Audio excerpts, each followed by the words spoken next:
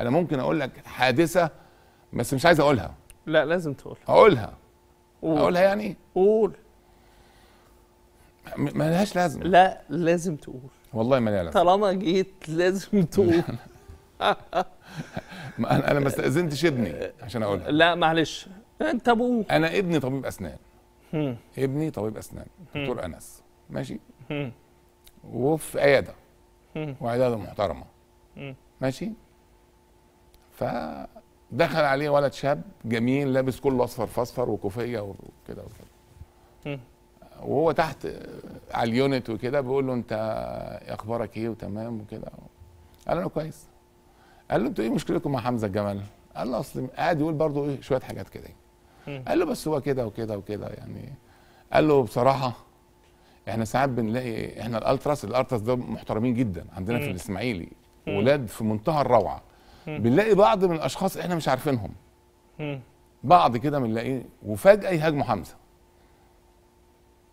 فلما تتبعناهم وجدنا إن الولاد دول بياخدوا فلوس ومنعناهم إن هم يخشوا تاني. من مين؟ ما قالش. فقال له يعني خلاص يلا وعالجه وبتاع. قال له ده أنت واضح إنك بتحب الإسماعيلي وكده وكده. قال له يا الحمد لله يعني. قال له طب ما تديني تليفونك. تبقى تيجي تحضر المباريات معانا. قال له ماشي. خد التليفون. بيضرب على ال Truecaller طلع. انس حمزة الجمل. بقى يصرخ في العيادة. أنا ما قلتش حاجة. أنا ما عملتش حاجة. إحنا بنحب حمزة الجمل.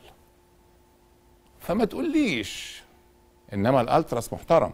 إسماعيلية وجمهور لكن النادي كان محترم. يندس وسط آه. الجماهير. آه طبعا. بعض الأفراد فأنت بتقول لي في كواليس بعض الأفراد لا غير معروفين.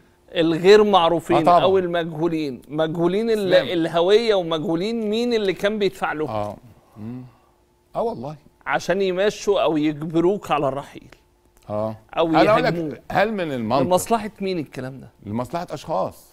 هل من المنطق؟ هل من المنطق إن نادي الإسماعيلي يقعد في الدوري الممتاز؟ والمنطق يقول إن أنا كسبان الاتحاد الاتحاد السكندري 4 1 بمجموعة ناشئين 4 1 وتسمح في المدرجات. ارحل يا حمزة.